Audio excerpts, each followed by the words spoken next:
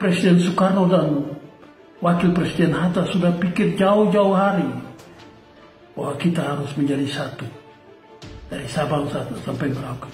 Karena kalau kita berpisah, ada 34 negara di antara Sabang dan Merauke ini. Di situ baru orang di dunia luar kaget dan lihat bahwa benar Soekarno punya ide itu benar-benar cocok oh mempersatukan supaya negara itu menjadi satu dan kuat.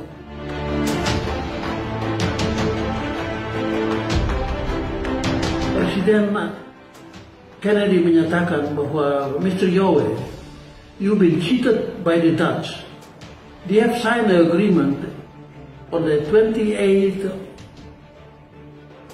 on the 24th of August 1828 that Papua is part of Dutch Indies.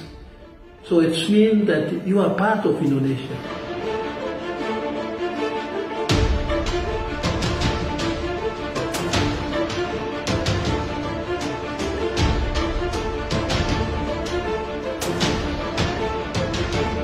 Kita masih menjalani pergumulan untuk menyelesaikan hak-hak dasar orang Papua menurut mereka saya sudah melewati masa itu. Dan saya tahu bahwa tidak mungkin it's impossible. Jadi kita kembali kembali ke negara kesatuan Republik Indonesia.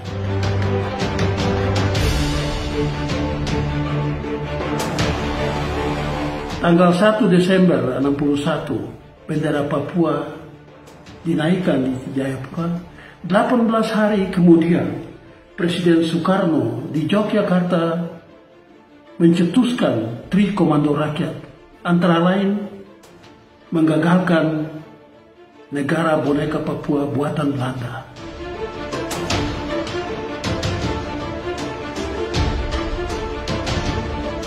UM itu sebenarnya didirikan oleh opsi-opsi Belanda yang mendirikan yang menjadi pelatih-pelatih dari eh, Papua Vrijwilligers Korps yang didirikan oleh orang Belanda pada jam-jam penghabisan Belanda mau menyerahkan Papua mereka dirikan itu supaya rakyat Papua berdiri melawan Indonesia.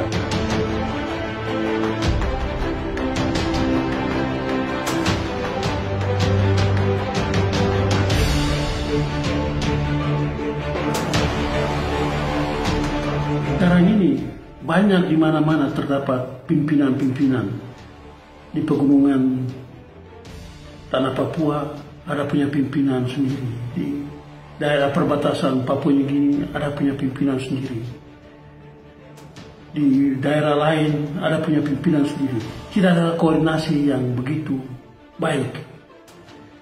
Jadi tidak ada satu struktur komando dari atas.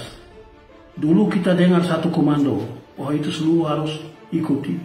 Sekarang ini semua jalankan dengan masing-masing punya wewenang.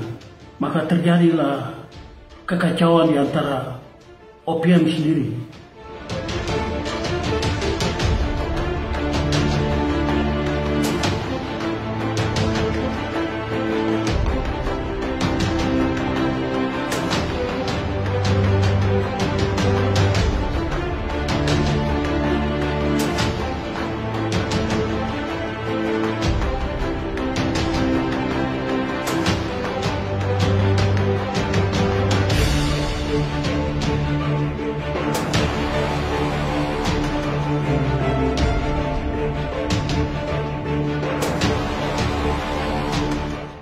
orang-orang dulu berjuang. Dari tahun 62 tapi makin lama makin mereka sadar bahwa untuk memperjuangkan satu negara yang baru merdeka di tahun-tahun ini di era 21 tahun 2020 tidak mungkin. Negara-negara di dunia makin menjadi satu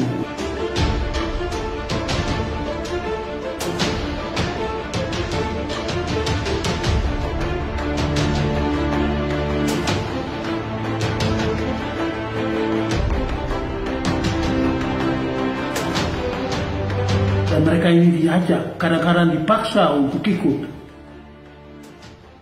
Tapi kehidupan mereka itu membuat mereka harus ikut.